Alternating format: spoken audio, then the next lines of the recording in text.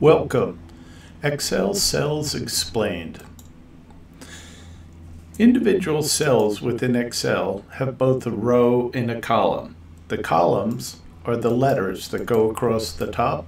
The rows are the numbers that go down the left-hand side. Think of the columns as a street address and think of the rows as a house number. Microsoft's terminology is the relative address. Our yellow cell is in column C in row 4.